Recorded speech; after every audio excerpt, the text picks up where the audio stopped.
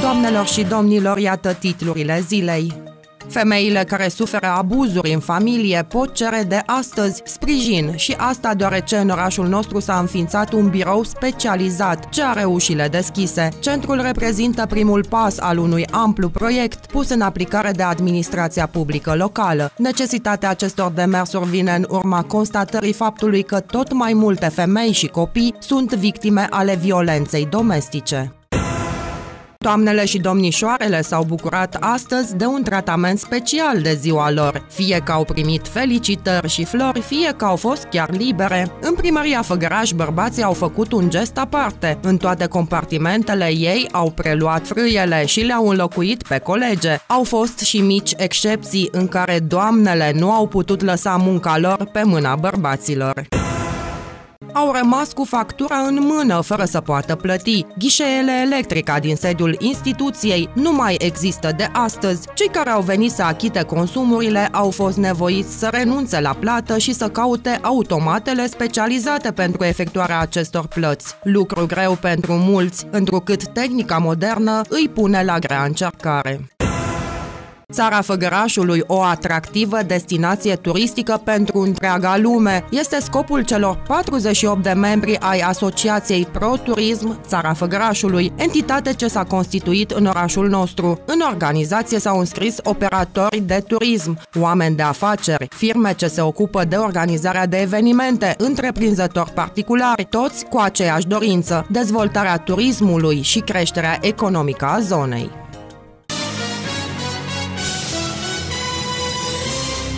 Persoanele din Făgăraș aflate în situații de dificultate, victime ale violenței domestice, au parte de consiliere și sprijin. Asta pentru că la Făgăraș s-a deschis astăzi un birou unde specialiști în domeniu stau de vorbă cu femeile care suferă abuzuri în familie sau în societate și le drumă pașii în viitor. Intenția unui grup de inițiativă a fost făcută publică în cadrul unei conferințe organizate în sala Clubului Casei de Cultură. Oaspete Stefania Catalo, președintele Centrului Antiviolență, Marie An Erize din Italia, care afla de acest proiect generos de la conaționalul ei, Enrico Chetti, managerul spitalului din Făgăraș.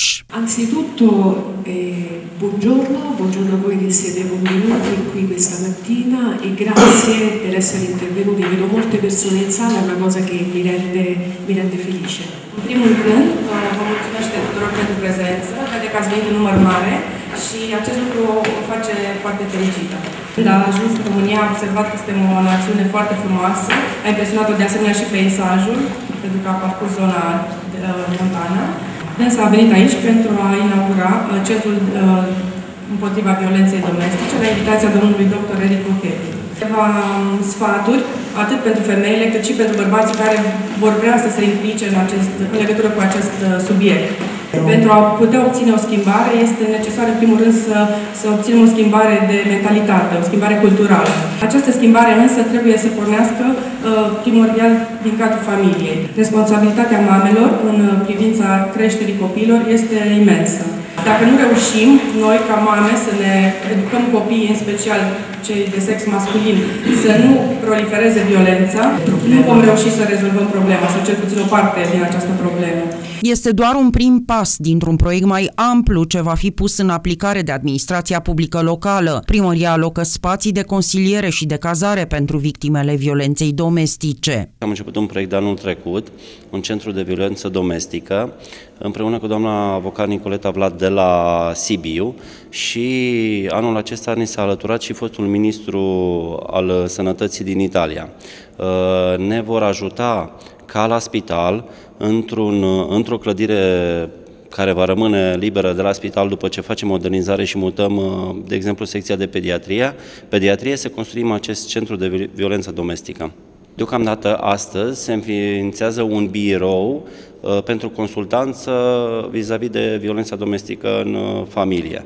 Iar ulterior, Uh, din diferite fonduri, ori fonduri externe, fonduri de la bugetul local și uh, sponsorizări, uh, din acest punct de vedere a venit și doamna fost ministru al sănătății din Italia, să construim și un centru. Centrul va aparține de, ca instituție, ca imobil, toate imobilele sunt ale primăriei dar ca și activitate va fi coordonată de către spital. Centrul pentru combaterea violenței domestice se deschide după ce Asociația Cultură și Drept din Sibiu, prin președintele acesteia Monica Vlad, doctor în drept, a întreprins demersuri la primăria Făgăraș, dar și la spital, ca urmare a bilanțului polițiștilor privind fenomenul de creștere a numărului de femei și copii agresați în familie sau în societate. Din păcate, suferința omenească este atât de intrinsec legată de iubire și de frumusețe. Și aș vrea să vă vorbesc astăzi despre violența cauzatoare de durere și despre durerea care, la rândul ei, cauzează violență, perpetuând violența într-o spirală tot mai înspăimântătoare. Chiar de Crăciun, într-o zi sfântă de sărbătoare, noi care ne considerăm creștini, am asistat anul trecut la un dublu asasinat în familia cuiva la Sibiu, mai precis la Șura Mare.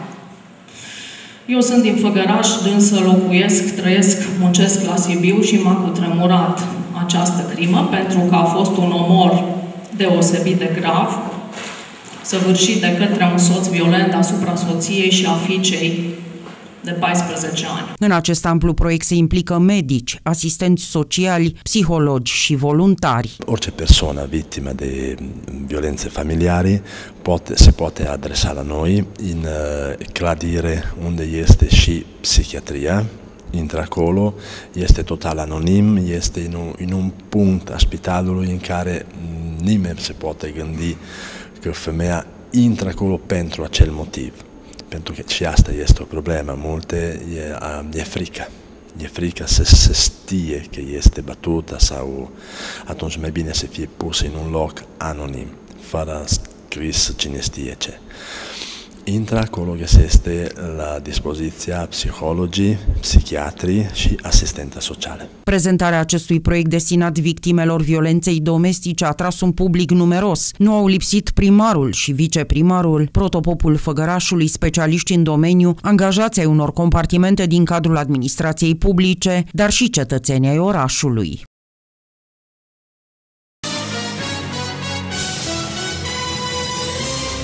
Doamnele și domnișoarele care lucrează la primăria Făgăraș au primit astăzi cel mai frumos cadou. În loc de flori, de 8 martie au fost scutite de la serviciu și să nu credeți cumva că locurile lor la birou au rămas neocupate sau sarcinile de serviciu neonorate. Atribuțiile au fost preluate de bărbați, colegi cu funcționarele din administrația publică. Spre exemplu, astăzi la cabinetul primarului ținea locul doamnei Lidia, secretara, domnul Marcel Ghircoiaș de la compartimentul audit. Bărbatul susține susține că încearcă să facă față telefoanelor și faxurilor și nu este greu deloc, pentru că știe cu ce se mănâncă administrația publică. Încercăm să facem față și să suplinim colegele noastre, să le oferim o zi frumoasă astăzi, să-și facă, să-și le facă, să mă rog, cum vor dânsele mai, mai bine.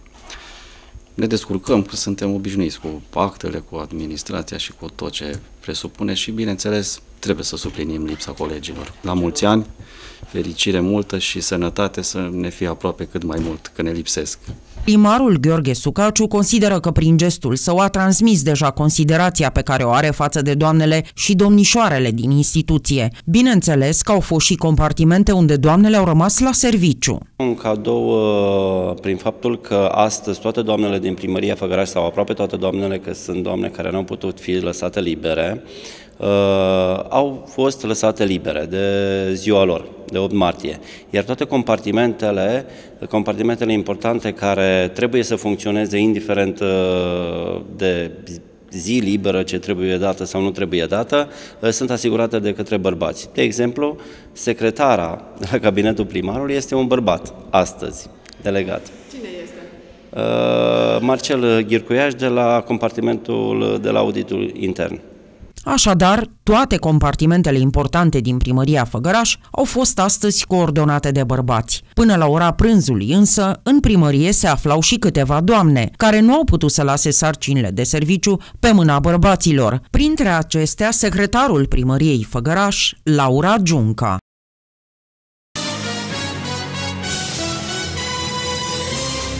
Abonații făgărășeni obișnuiți să vină la ghișeele electrica să-și plătească facturile, în principal pensionarii, au avut parte de o surpriză de proporții. Ghișele nu mai există în sediul instituției de la 1 martie pentru că s-au desfințat. Contactați pentru declarații reprezentanții Societății Electrica de la Făgăraș susțin că măsura a fost luată la nivel național. Compania are în derulare un program de reducere a costurilor în cadrul căruia urmează să renunțe la încasarea direct la ghișele proprii a contravalorii facturilor la energie electrică. Practic, întreaga procedură de încasare se va derula prin automatele care au fost montate, ori urmează a fi montate în fostele casierii prin intermediul băncilor partenere, precum și prin punctele PayPoint din magazinele de cartier. Astfel, abonații pot găsi pe versoul facturii variantele de plată acesteia. Ce se întâmplă însă în mediul rural, unde există bătrâni singuri care nu cunosc tehnicile moderne de plată, mai spun unii dintre abonați care au rude la țară. Ghișe electrica mai există doar în orașele mari, mari, dar și acolo se va pune în mișcare în curând desfințarea acestora și disponibilizarea angajaților. Reamintim că de ceva vreme și furnizorul de gaz metan a procedat la închiderea caseriilor proprii, încurajându-și abonații să-și plătească facturile la punctele automate de încasare, la poștă ori la magazinele de cartier care dețin astfel de puncte de plată.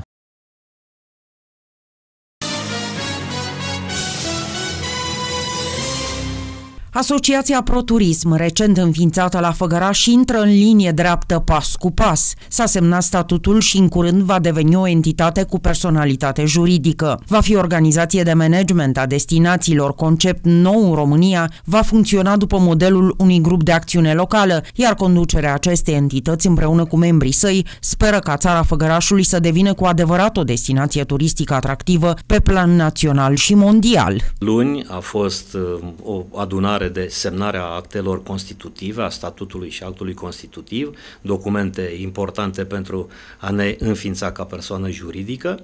Acum suntem în faza de a mai strânge hârtii, în așa fel încât să putem să facem dosarul pe care să-l depunem la judecătoria Făgăraș pentru a primi personalitatea juridică. În acest moment, această asociație, care se dorește a fi o organizație de management al destinațiilor, e un concept nou în România, dar pentru oameni e ceva similar cu galurile, grupurile de acțiune locală, adică această organizație, asociație, va avea rolul unei autorități de management. Cu alte cuvinte, această asociație va primi niște bani, să sperăm mulți, pe care îi va dirija către acele persoane care depun proiecte spre a fi finanțate în domeniul turismului și activităților din turism. Asta este o gândire. Sper din tot sufletul să avem șanse de a deveni și o, acum vorbesc de țara Făgărașului, și o destinație unde oamenii, românii, europenii din toată lumea să înțeleagă că putem să dezvoltăm durabil turismul în zona noastră. Cei 48 de membri a Asociației ProTurism în țara Făgărașului sunt așteptați de acum să vină cu idei, cu o strategie clară pentru întocmirea unui proiect menit să aducă beneficii zonei noastre și să ajute la atragerea de turiști. În organizație sunt așteptate și primăriile ca parteneri de proiecte. Urmează ca într-un viitor nu foarte îndepărtat și unitățile administrativ-teritoriale să adere la această asociație, astfel încât să îndeplinim condiția de organizație cum am spus, management al destinațiilor, care funcționează pe principiul minim 40, minim 51% trebuie să fie privați și diferența să o constituie partea de um, primării. În acest moment, v-am spus, suntem doar în această fază, iar așteptările mele se leagă de uh, viitoarea strategie pe care acum ne gândim să o promovăm și să o gândim iar această strategie, în viziunea mea cel puțin, ar trebui să fie ceva foarte pragmatic. Adică să ne gândim la ceva ceea ce ar aduce beneficii tuturor locuitorilor țării Făgărașului. Pentru că în cei 60 de ani pe care i-am, eu am văzut multe strategii, am scris și eu vreo câteva, însă marea lor majoritate, e ca și studiile de fezabilitate făcute de guvernere, guvernările României, care sunt foarte scumpe, au o grămadă de informații strânse acolo, dar nu folosește nimănui. Din punctul meu de vedere, îmi doresc o strategie care să pună punctul pe ei. Cum dezvoltăm țara Făgărașului din punct de vedere turistic? Asociația ProTurism Țara Făgărașului este condusă de Carmen Schuster, care a lucrat ani buni în domeniul bancar, dar este pasionată și de turism, implicit de găsirea unor modalități de a face ca destinațiile turistice de la noi să devină atractive pentru cei care vor să ne viziteze. Ea va conduce Asociația ProTurism Țara Făgărașului alături de șapte vicepreședinți, desemnați pe 9 arii de interes turistic. În asociație s-au înscris operatori de turism din zona noastră, oameni de afaceri în domeniul Horeca, ca firme care se ocupă de organizarea de evenimente, divertisment sau cultural-sportive, întreprinzători particulari.